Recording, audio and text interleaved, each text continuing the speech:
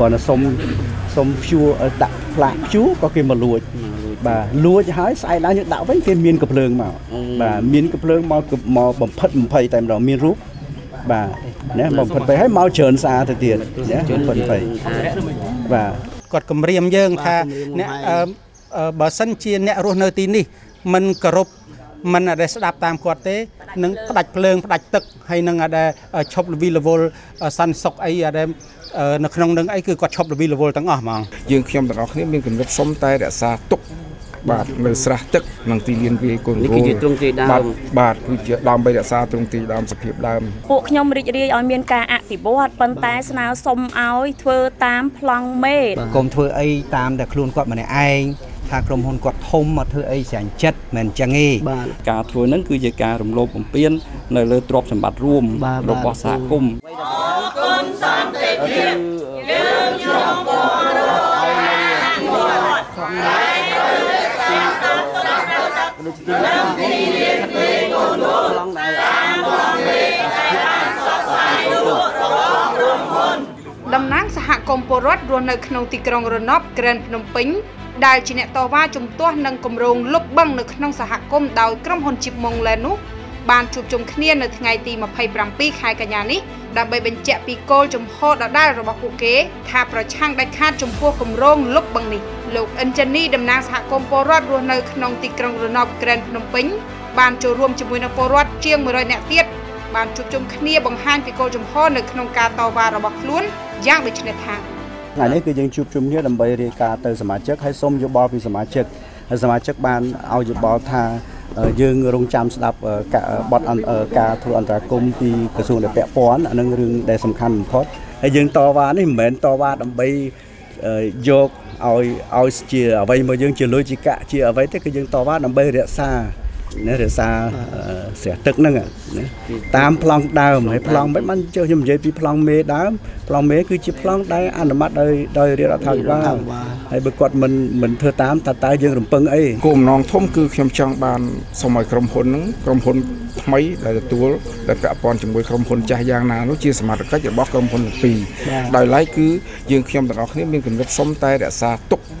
បាទនៅស្រះទឹកនិងទីលានវាយកូននេះគឺជាទ្រង់ទ្រាយដើមបាទគឺជាដើម្បីរក្សាទ្រង់ទ្រាយដើមសភាពដើមដោយឡែកការអភិវឌ្ឍផ្សេងផ្សេងជាសិទ្ធិរបស់ក្រុមហ៊ុនពួកខ្ញុំរីករាយឲ្យមានការអភិវឌ្ឍប៉ុន្តែស្នើសុំឲ្យធ្វើតាមប្លង់មេដែលបានផ្សព្វផ្សាយលក់ឲ្យពួកខ្ញុំ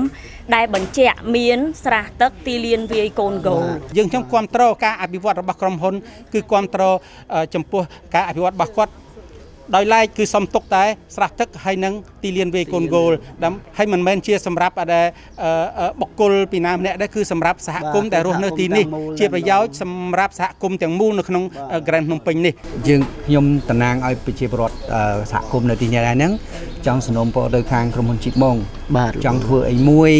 ចង់ធ្វើអីអភិវឌ្ឍអីក៏ដោយចង់ធ្វើអីក៏ដោយឲ្យវាមានការជជែកគ្នាដោយ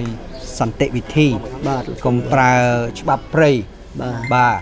ហើយចង់ធ្វើអីត្រូវដាក់លិខិតណែនាំជូនប្រជាពលរដ្ឋសហគមន៍នៅទីនេះកុំធ្វើអីតាមតែខ្លួនគាត់ម្នាក់ឯងថាក្រុមហ៊ុនគាត់ធំមកធ្វើអីស្រាញ់ចិត្តមិនអញ្ចឹងទេសហគមន៍នៅនេះវាមានរាប់រយគ្រួសារបាទចង់ធ្វើអីទៅតាមការណែនាំមានការខុសឆ្គងមានការស្អីសម្រួលមិនមែនថាទីតាំងនេះគឺជាកម្មសិទ្ធិរបស់គាត់ផ្ដាច់មុខទេ ការអភិវឌ្ឍកន្លងមកជាង10ឆ្នាំគឺពួកយើងមិនដែលខឹងឬក៏ រមាស់ស្គៀបអីទេពួកយើងរីករាយប៉ុន្តែដល់ឆ្នាំ2020នេះយើងឃើញខាងក្រុមហ៊ុននឹងផ្សព្វផ្សាយលក់កម្រងថ្មីដែលកម្រងថ្មីហ្នឹងគឺការសង់ផ្ទះនៅពីលើស្រះទឹកហ្នឹងបាទដូច្នេះហើយបានជាពួកយើងនឹងពិចារណាហើយនឹងជុំគ្នាពីគ្រោះថាការធ្វើហ្នឹងគឺជាការរំលោភបំពាននៅលើទ្រព្យសម្បត្តិរួមរបស់សហគមន៍របស់ទីក្រុងថ្មីហ្នឹង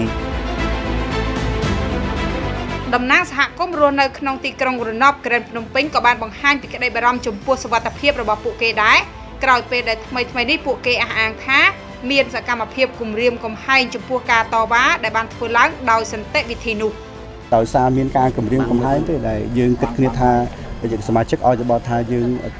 ស្នើសុំសម្ដេចតេជោមេត្តាជួយយើងខ្ញុំដើម្បីឲ្យយើងខ្ញុំនឹងអាច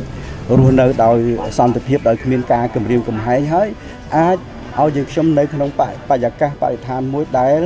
ដែលក្រុមហ៊ុនដែលមានប្លង់មេគោលមេអនុអនុម័តដោយរដ្ឋាភិបាលរួចហើយដែលក្រុមហ៊ុនអភិវឌ្ឍបន្តគាត់មិនរក្សាតាមប្លង់មេនោះសមាជិកម្នាក់ម្នាក់គាត់ហ្នឹងគាត់សុំសុំព្យួរដាក់ផ្លាកព្យួរក៏គេមកលួចបាទលួចហើយស្អែកឡើងយើងដាក់វិញគេមានកំភ្លើងមកបាទមានកំភ្លើងមកមកបំផិតបំភ័យតែម្ដងមានរូបបាទ ណាបំផិតទៅហើយមកច្រើនសារទៅទៀតណាច្រើនបំភ័យការដែលជួបជុំនោះគឺมันបានលទ្ធផលទេដោយសារខាងក្រុមហ៊ុនគាត់បានប្រាប់ថាប្រកាសគោលជំហរប្រកាសគោលជំហរគាត់ថាគាត់ត្រូវតែលុបដូច្នេះហើយទៅគាត់សម្លុតគាត់គម្រាមយើងថាអ្នកបើសិនជាអ្នករស់នៅទីនេះមិនគោរពមិនអត់ស្ដាប់តាមគាត់ទេនឹងអត់នឹងផ្ដាច់ភ្លើងផ្ដាច់ទឹកហើយនឹងអត់ឈប់លវីលវលសន្តិសុខអីអត់ នៅក្នុងនឹងអីគឺគាត់ឈប់លវីលវលទាំងអស់ហ្មងឆ្លើយតបមកកាន់ Cambonomi ក្រុមហ៊ុន Jeep Mongland បាននិយាយថាក្រុមហ៊ុនបានត្រួតពិនិត្យទៅលើកិច្ចសន្យារវាងអតិថិជនទាំងអស់ជាមួយនឹងកម្មសិទ្ធិករចាស់ពុំមានកន្លែងណាបញ្ជាក់ថាអាងទឹកនេះនឹងត្រូវរក្សាទុកដោយមិនអាចធ្វើការអភិវឌ្ឍនាពេលអនាគតនោះឡើយក្រុមហ៊ុន Jeep Mongland បានបន្តថាក្រុមហ៊ុននឹងកែប្រែអាងស្តុកទឹកបណ្ដោះអាសន្ននេះឲ្យคล้ายទៅជាសួនបៃតងចម្រុះដ៏ធំ ឬហៅថាគម្រោង Central Park ក្រុមហ៊ុនសង្កត់ធ្ងន់ថាដោយឈរលើកម្មសិទ្ធិស្របច្បាប់ដែលក្រុមហ៊ុនបានទទួលត្រឹមត្រូវក្រុមហ៊ុនរក្សាសិទ្ធិអនុវត្តផែនការធុរកិច្ចរបស់ខ្លួនបែបនេះក្តីបើសិនជាការតវ៉ានៅតែមិនអាចទទួលបានលទ្ធផលអ្វីនោះទេលោកអិនចានីនិងសមាជិកក្នុងសហគមន៍ទីក្រុងរណបក្រែនភ្នំពេញទាំង140នាក់បញ្ជាក់ថានឹងបន្តរកដំណោះស្រាយដោយសន្តិវិធីបន្តទៀត បាទយើងមានជំនឿយើងមានការជឿជាក់យ៉ាងមុតមមទៅលើមន្ត្រីរដ្ឋាភិបាលក្រសួងដែលពាក់ព័ន្ធក្រសួងអាជ្ញាធរដែលពាក់ព័ន្ធទាំងប្រមាណហ្នឹងគឺយើងជឿហើយបានយើងដាក់លិខិតស្នើសុំហើយយើងយល់អំពីការលំបាករបស់អាជ្ញាធររបស់យើងដែលពាក់ព័ន្ធហ្នឹងហើយព្រោះគាត់ត្រូវការពេលវេលាដើម្បីពិនិត្យមើលឯកសារព្រោះយើងដាក់ទៅថ្ងៃ21 22ណា22ចឹងថ្ងៃ24ឈប់បាត់ហើយណាឈប់ពេលបុណ្យជាតិហ្នឹងហើយ ឥឡូវយើងសង្ឃឹមថាសប្តាហ៍ក្រោយស្អែកខាងស្អែកហ្នឹងគឺយើងបានទាំងទាំងខ្ញុំគាត់រំពឹងទុកក៏ប៉ុន្តែខ្ញុំសូមបញ្ជាក់ថាយើងមានជំនឿយ៉ាងមុតមមព្រោះព្រោះខ្ញុំយើងបានពិនិត្យមើលរាល់ឯកសារកតិយុត្តនានាដែលពាក់ព័ន្ធហ្នឹងគឺមានទម្ងន់សម្រាប់គ្រប់គ្រងយើងហើយហើយមន្ត្រីរដ្ឋាភិបាលគ្រប់នេតិដែលយើងបានធ្វើលិខិតស្នើសុំគាត់ជួយអន្តរាគមន៍នឹងគាត់ជាអ្នកគាត់ជាអ្នកអនុវត្តកតិយុត្តច្បាប់ទាំងឡាយឬក៏ប្រកាស សំទោសអនុច្បាប់អនុក្រឹត្យនិងប្រកាសទាំងឡាយនោះឯង